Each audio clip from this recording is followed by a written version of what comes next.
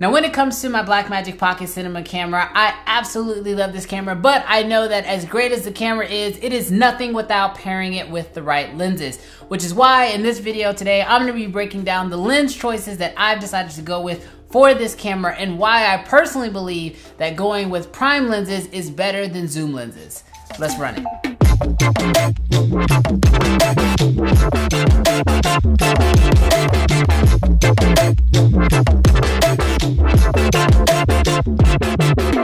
What's good, creative fan? Brandon Washington here. First of all, if you're brand new to the channel, definitely consider hitting that subscribe button because this channel is all about filmmaking gear, tips, and tutorials. But in today's video, we are taking a look at my lens choice when it comes to shooting with the Blackmagic Pocket Cinema camera. Now, I absolutely love shooting with this camera, but I personally know that it is nothing without the lenses that I choose to go with it. And so picking the lenses was very important First, starting off with the types of lenses I wanted to go with. So I decided to go with all EF mount lenses, which meant that in order to get it onto my pocket cinema camera, I had to get a speed booster or adapter. So I decided to go with the Metabone 0.64 XL speed booster. This basically turns this micro four thirds sensor into the look of a full frame sensor. As someone who's been shooting on cameras like the 1DX Mark II and the Sony a7 III, I absolutely love that full frame look. And so I wanted to keep that when going to the Blackmagic Pocket Cinema camera. And this speed booster allowed me to do that. The speed booster is actually really simple. It just goes onto the front of your camera just like any lens would, and then you just attach your lens to it. This thing is also built like a tank, which means I feel perfectly confident about being able to attach lenses on there like the 70 to 200 or even some of my heavier, smaller lenses like my 50 millimeter 1.2 onto this camera without any hesitation. Another awesome thing about this adapter is the fact that it not only is going to increase your overall focal range from that typical micro four thirds look, but it also is going to allow you to let in more light. So for example, I have a lens that actually is a 2.8, but whenever I put it on this camera with the speed booster, it actually turns it into a 1.8 lens. So it's allowing in a whole extra stop of light into the camera, which is really helpful, especially when I'm shooting in those low light situations. So now that we've got the speed booster out of the way, let's actually jump into the lenses that I've chosen to go with, starting from my ultra wide, making our way up to my telephoto lens, and then going into my favorite favorite specialty lens. So when it comes to my wide angle lens of choice or my ultra wide angle lens of choice, that is going to be this guy here. This is the Laowa 12 millimeter zero distortion lens. First of all, I've actually done an entire video on this lens alone.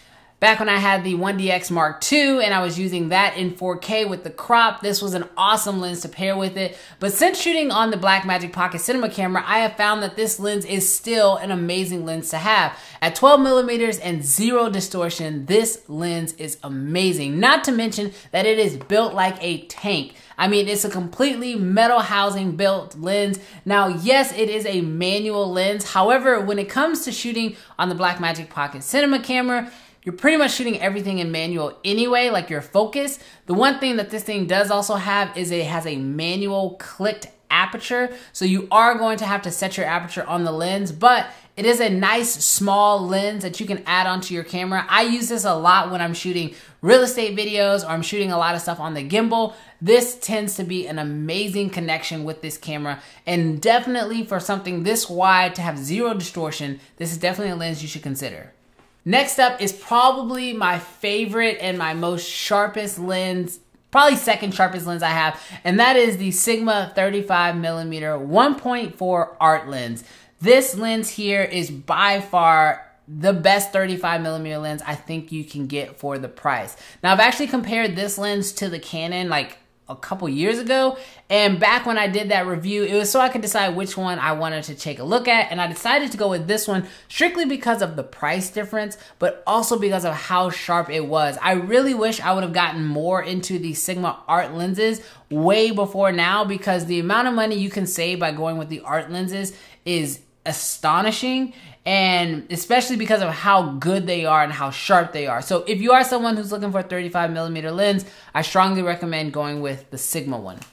Now the next lens that I have is my 50 millimeter Canon 1.2. Now this is an awesome lens. This is perfect type of lens if you're gonna be shooting a lot of interviews, if you're shooting people that aren't moving around a whole bunch. This lens is not stabilized and neither are any of the other lenses that I've actually mentioned so far, But when it comes to just having an amazing sharp lens that develops awesome colors and has great bokeh, this lens is just it's perfect. For interviews, this is my definitely go-to lens. However, like I mentioned before, it is not stabilized, so I don't really go handheld with this lens very much.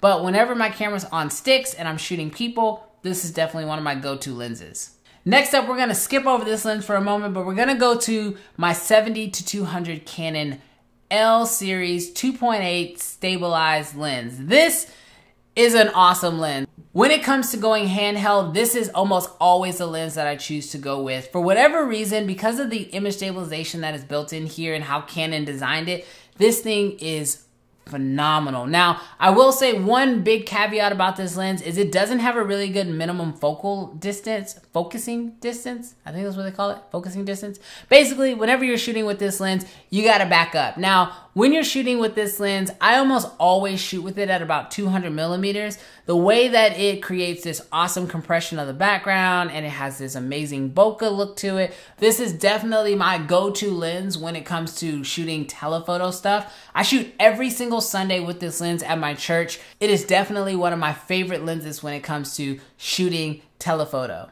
All right, and last but certainly not least is this guy here. This is the 100 millimeter Canon macro lens. Now, this is a specialty type lens, but in my opinion, this is a secret dagger type lens. I'm pretty sure this is the most inexpensive L series lens you can buy. There may be like one or two that are a little bit cheaper than this lens, but if you have not picked up this lens, I strongly, strongly, strongly recommend you grab it. First of all, it is the sharpest lens out of all the lenses I've ever shot with. It's a very close one with this one here, the 35, but this is definitely a little bit sharper. On top of that, it is not just a macro lens. You can back up your camera and still get just some amazing shots with this lens here. But when it comes to getting macro shots and detail shots, nothing is better than this. I use this on weddings. I use this here on my YouTube channel a lot. I use it with client stuff for little detail and B-roll type shots. This is an amazing sleeper lens, and because it is a macro lens, the minimum focusing distance is really, really shallow, which means you can get really close to stuff and still keep it in focus, which allows you to get really creative with the way you capture some of your shots. Now, no matter which one of these lenses you decide to pick up, or if you decide to pick up one, two, or any of these, all of these come down to what is the most important lens for your shots. Now, one thing that you'll notice with these lenses is that most of them are prime lenses. And what prime lenses means is that they basically don't zoom. Now, the 70 to 200 is my only zoom lens that I use with this, and that is because anytime I'm using it handheld, it is nice to be able to zoom in and out instead of having to move around as much. But most of my lenses are going to be prime. And the reason for that is when it comes to prime lenses, they are just always sharper. When it comes to having a sharp lens and also something that can shoot at a really low aperture, which allows you to get more light in and have a very shallow depth of field, you're only gonna be able to get that with prime lenses.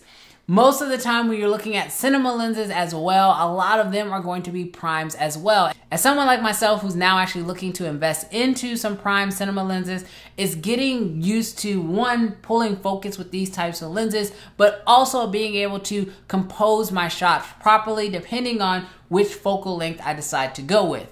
You know, I don't think there's anything wrong with zoom lenses. I absolutely believe that they have their place. If you're someone who's traveling a lot or you're someone who's maybe on a budget and you're just trying to get the most focal range for your dollar, then yes, absolutely go with zoom lenses. However, if you can and if it is possible for you, especially in your shooting conditions, to be able to shoot on primes, trust me, there is nothing like it. The shots are so crisp and the detail is so amazing that you can only truly get that with primes. But there you have it guys. Those are the lenses that I use with my Blackmagic Pocket Cinema camera. Let me know what you guys use down below. Also, if you have any questions about any of these lenses or you want to check any of these out, I'll have links to everything down below so you can check out the prices on them and decide which ones you want to go with. But one super helpful tip that I really want to leave with you guys is don't be afraid of buying used gear. Most of these lenses, like the 50, and the 100 and the 35 these were all used when i purchased them.